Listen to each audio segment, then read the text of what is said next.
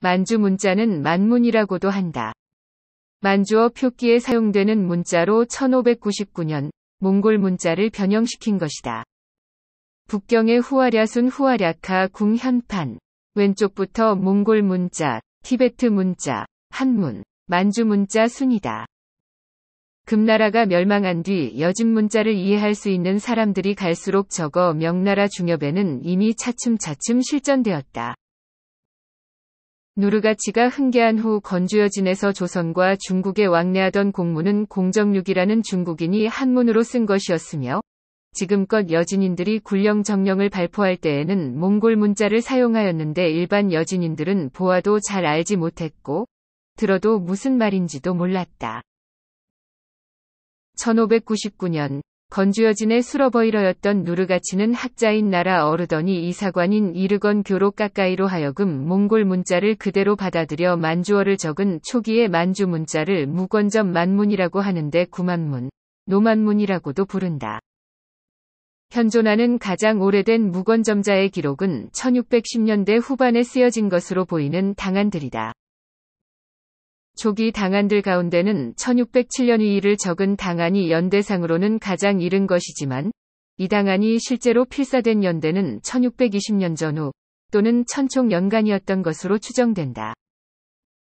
1632년에 숭덕제의 명을 받은 학자 다하이에 의하여 무건점자는 만주어 적는데 적합한 문자로 개량되었다.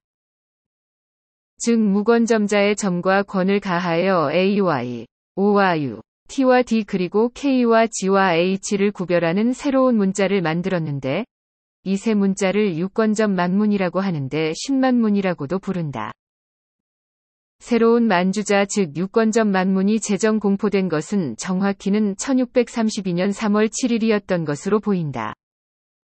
실제로 그 당시의 기록인 구만주당을 보면 3월 7일 전후의 표기가 뚜렷한 변화를 보인다. 그러나 3월 7일을 경계로 하여 9만문과 10만문의 모든 직징이 횡년이 구별되는 것은 아니다. 1632년 3월 7일 이 분기점이 되는 것은 사실이지만 1632년을 전후로 상당 기간의 과도적인 문자 사용의 시기가 나타난다. 즉 1632년 이전의 당 안에도 간혹 어음을 구별하기 위하여 점을 가한 곳이 보이고 1632년 이후에 당안에도 점의 누락은 물론 문자 이용에 있어서도 무건점자적인 직징이 부분적으로 여전히 나타나고 있다.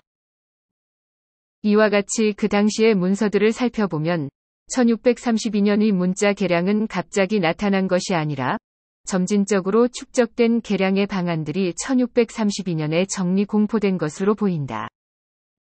또 그 뒤에도 부분적인 정리가 뒤따른 것으로 보인다. 1640년대에 접어들면 유권점 만문은 기본적인 문자의 자형이나 그 이용 방법에 있어서는 완전히 확립되었다. 인쇄체와 일종의 필기체인 소해체가 았다. 소해체는 꼬리 처리 등이 인쇄체와 차이가 난다.